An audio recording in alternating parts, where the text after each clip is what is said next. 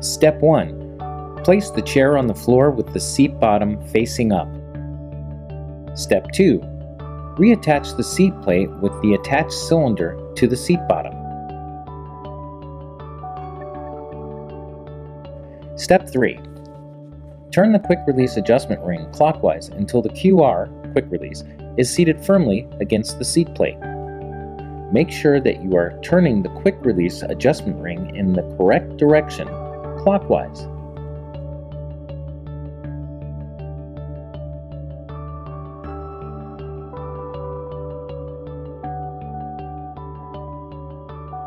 Step 5. Make sure that there is no gap between the thrust plate and the collar of the seat plate.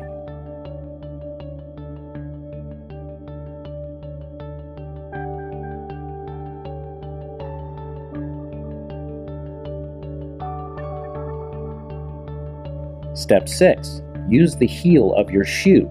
Step down firmly and briskly on the quick release thrust lever handle.